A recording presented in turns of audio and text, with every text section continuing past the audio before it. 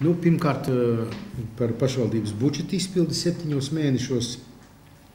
Tad budžets mums pildās, no, runājot par nodokļu ieņēmumiem, sekmīgi. Šobrīd pašvaldībai brīva nauda kontos ir 11 miljoni eiro.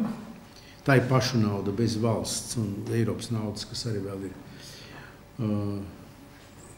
Septiņos mēnešos ir pieaugums nodokļu ieņēmumos no iedzīvotāja ienākuma nodokļa par 4% pret pagājušo gadu, nekustamā īpašuma nodokļa ir par 6%. Līdz ar to mums papildus ieņēmumi salīdzinot ar pagājušo gadu ir apmēram ap 700 tūkstoši eiro. Nu, mēs pat cik bijām tā prognozējuši pieticīgi, tad faktiski tas papildina mūsu brīvo naudu, kas budžetā nav paredzēta, kuru budžetā nav paredzēts tērēt. Uh, bet ņemot vērā uh, šo ģeopolitisko ļoti sarežģīto situāciju un iespējamās, uh, iespējamās nevar teikt sankcijas, bet iespējamos ierobežojumus tranzīta kravu kustībā no, no, uz Latviju, no Krievijas mums ir jābūt pieticīgiem, un tā nauda, kas ir kā papildus ir nopelnīta nodokļu veidā, nu, viņa nebūtu šobrīd tērējama, bet būtu atstājama kā brīvā nauda kontā. Kopējā sociāla-ekonomiskā situācija ir, ir laba, to rāda arī piemēram, garantētā iztikas minimuma saņēmēja skaita samazināšanās un, uh, Un, faktiski šobrīd tas skaits ir stabilizējies ap 200 cilvēkiem. Un naudas izteiksmē šobrīd ir 72% iztērēts pret pagājušo gadu attiecīgo periodu. Un jāsaka, lielākā daļā pabalstu saņēmēju skaits un, un arī summas līdz ar to ir samazinājušās. Nu, vienīgais, kas ir būtiski palielinājis no tāda sociālā pabalstu joma, ir uh, šķirts apmaiņa, ko mēs veicam pavelti. Jā, tā kā Tā kā šai ziņā laikam tur kaut kādi procesi nav labi, tie nav mūsu kontrolē, tā ir valsts policijas jautājums, kas saistās ar narkomāniju un narkotiku izplatīšanu. Bet nu, katrā gadījumā mēs to darbu turpināsim, tad apmainīt šķirtas, bet nu, tur tie cipari slikti. Tā, tad mēs esam izvērtējuši Vēnspils izlases startu skolēnu jaunatnes olimpiādē vasaras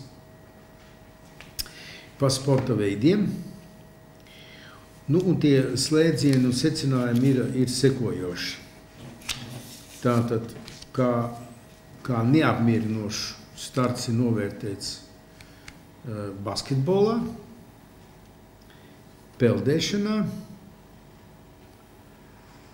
vieglietikā, futbolā, boksā. Jāsaka, ka basketbola rezultāti gadu no gada pasliktinās. Iet runa par olimpiādēm.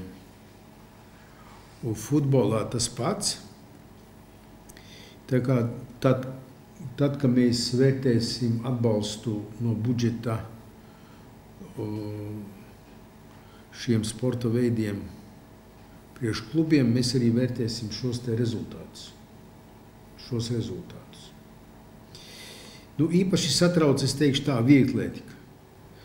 Pie tā lielā gan audzēkņu skaita, gan arī treneru skaita, kas ir.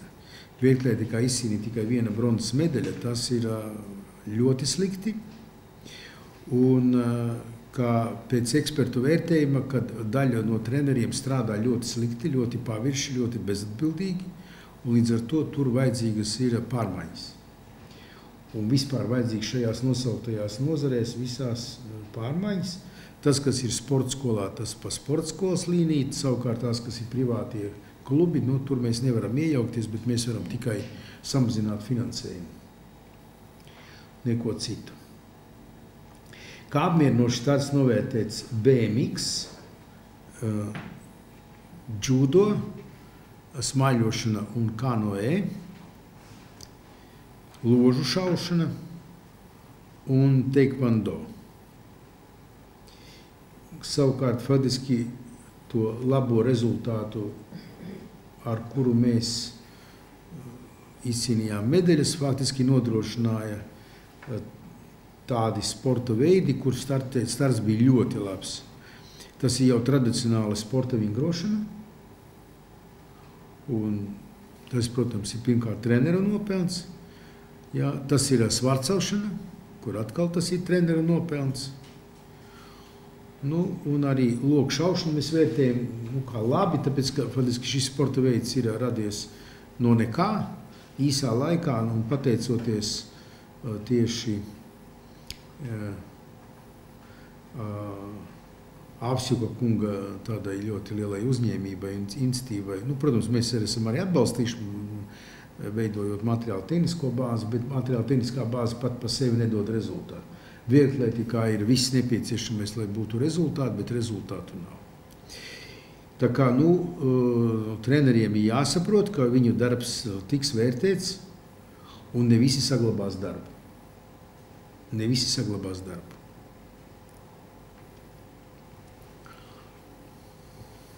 Jūs teiktais attiecās tikai uz sporta klubiem vai arī uz sporta skolas pārstāvjiem? Gan sporta skolas pārs, gan sporta klubi. Ja mēs vērtējam kopējo, kopējo startu, jo tur olimpiādē netiek šķirots vai sporta skola vai privātie klubi. Bet sporta skola tā ir tieši atbildība sporta skolas vadības, ja. Un, un, un arī un klubiem, protams, tas ir mūsu jautājums par mūsu atbalsta intensitāti un apjomu un, un kam, kam tā nauda tiek dota. Jāsaka, ka sporta skolā mēs sasniedzam arī sporta skolas padotību, jo sporta skola ir padota izglītības pārvaldei, kurai tā ir viena no 20 struktūru vienībām. Un visādā citādi ziņā sporta pārvalde nav saistīta ar, ar sportu. Tā kā mums tā doma ir, ka šo sporta skolu faktiski pakļaut uh, sporta pārvaldei. Bet nu, jautājums, kā, nu, kā saņemt finansējumu no valsts, tā, bet tas ir drīzāk tehnisks jautājums. Drīzāk tehnisks jautājums. Tā kā organizatoriskas izmaiņas būs, ja? arī organizatoriskas izmaiņas būs. Kā tas uh, varētu būt, kad jūs varētu lemt šo jautājumu? Nu, uh, sporta pārvaldes vadītājai un arī uh, sporta skolas vadītājam, direktoram Blūmberga kunga vadībā. Viņi ir solījuši, ka viņi mums septembra beigās iesniegs uh, savus priekšlikumus. Jā, jau tādus atstrādātus, detalizētus. Tagad mēs runājām tikai par filozofiju. Nu, katrā gadījumā uz novembri tā lieta jābūt pilnīgi skaidrs, jo novembrī mums ir jālēm jau par uh, budžeta finansējumu nākošam budžeta gadam. Cik liels aptuveni ir tas finansējums, ko pašvaldība atvēl jauniešu sportam? ik gadu? Man, man tāds cipars nav, es baidos nosaukt. Tas jāskaita kopā. Mēs lielu summu atvēlam. Ne, nevar, es jau nevaru teikt, ka mums ir kaut kāds katastrofāls slikts starts. Ja? Jo sporta veidi, kur ļoti labi nostartēja, nokompensē to, kur, no, kur, kur slikti nostartēja. Ja? Kopā mums ir piektā vieta, kas ir nu, cienīga vieta. Ja? Bet nu, vienkārši, ja mēs, mēs jau ja tā vidu, vidēji, tad viss ir kārtībā, visi ir veseli. Ja? Bet, ja sāk analizēt par sporta veidiem, tad nu, visi veseli nav. Ja? Nu, tā. nu, sekmīgi noslēdzies ir uh, sestais, sestais Vislatvijas nojošanas festivāls. Man liels prieks, ka viņš ir iegājis savā visu, uh, Latvijas un arī starptautiskā apritē, jo četru valstu pārstāvi jau piedalījās. Nu, doma mums ir, ka aizvien lielāku uzsvaru uh, likt uz uh, nojošanas tehniku, tehniku jo, diemžēl, viena daļa no dalībniekiem labu gribot, bet faktiski nodarbojas ar uh, soļošanu, nesot nūjas. Vai stumdot nūjas, bet ne nūjojot. Varbūt tam par iemeslu tas, ka cenšas noiet pēc iespējas ātrāk.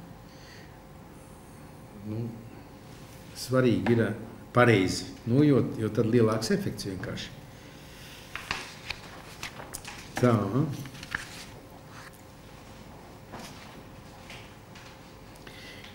Nu, Tūlīt sākas jaunais mācību gads. Mēs esam ieguldījuši 630 tūkstoši eiro izglītības iestāžu remontos. Nu, tie dati jums ir 630 tūkstoši. Tie dati jums ir, cik kurā skolā un bērngārzā ir ieguldīts, tas ir daudz. Priecē tas, ka turpina palielināties pirmklasnieku skaits. Šogad ir par 6% vairāk nekā pagājušajā gadā. Par 6% vairāk. Nu, šodien bija arī skolotāju ikgadējā rudens tādas sanā, sapulce vai sanāksme, kurā arī es uzsvēru, ka nodots eksploatācija ir Ventspils tehnikums. Tur audzēņu skaits piecos gados palielinājies pa 300, pa 300, sasniedzot šogad jau 820 bērnu. Līdz ar to viņš kļūst par tādu nopietnu konkurenti skolām 9 klases beidzējiem, vai viņiem iet uz vidusskolu vai uz, vai uz augstskolu. Nu, mēs ļoti ceram, ka tā proporcija būs tāda, ka 50-50, tas ir tāda laba Eiropas proporcija. Nu, un, savukārt tehnikumam galvenais uzdevums ir visu šo te moderno ēku un īpaši svarīgu aprīkojumu un iespējas padarīt par, par efektu kvalitīvai izglītībai, kur, kur, kur tehnikum beidz gudri bērni. Gudri bērni. Pats galvenais gudri bērni. Labi, ka zinoši, bet vēl svarīgāk, ka gudri. Iet uz beigām darbs, un faktiski šobrīd ir apspriešanas stadija, tā ir tikai aktīvāk jā, jā, jāuz, jāizvērš uh, izglītības stratēģija Ventspilī līdz 2020. gadam.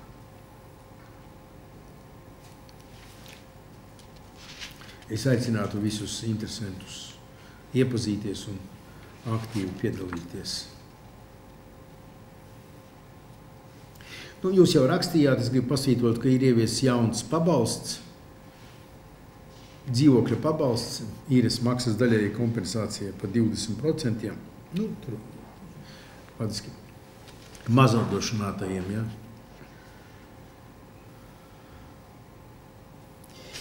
Nu, tāds uh, interesants fakts, ka uh, ārvalstu investoru tiešās investīcijas uh, Ventspilī uh,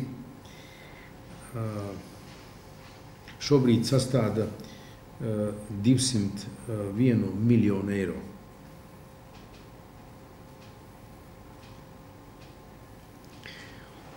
Un salīdzinot ar iepriekšējo gadu, palielināšanās par 9% ārvalstu investīciju ziņā, gan absolūti izteiksmē, gan relatīvi izteiksmē, mēs esam otrā aiz Rīgas. Jā. Uzkrātās investīcijas uz vienu iedzīvotāju, ja jūs redzat, ja. Nu, Rīga stabili priekšā, jo nu, Rīgā investīcijas iet, uh, Rīga ir uh, Latvijas centrs lielākais reģions un arī Baltijas centrs, līdz ar to viņiem objektīvi tur sacensties ir praktiski neiespējami, bet toties ar citām pilsētām, kā jūs redzat, uz vienu iedzīvotāju, ja mums ir trīs ap pus reizes vairāk nekā, piemēram, Liepāja vai, vai Valmiera. Pat vairāk. Jā, nu, nerunāsim tur par Reizekni vai Daugavpilī, ja, kur, kur mums ir 30 reizes vairāk, ja, 25, 30 reizes vairāk uz vienu iedzīvotāju. Nu, Ladiski, nu, lai, lai attīstītos uz, uz savu resursiem, ja attīstās attīstība nav. Attīstība var būt tikai uz ārējiem resursiem, vai tie ir kredīti, vai tie ir ārvalstu tiešās investīcijas, ja, vai tās ir, teiksim, Eiropas fondu naudas, bet nu, tas ir, tas ir izšķiroši svarīgi. Pie tam šīs ir ārvalstu tiešās investīcijas, tas ir uh, uzņēmēja darbībā, ja tas nav ielas vai, vai, vai dzelzceļš vai kaut kas tam līdzīgs.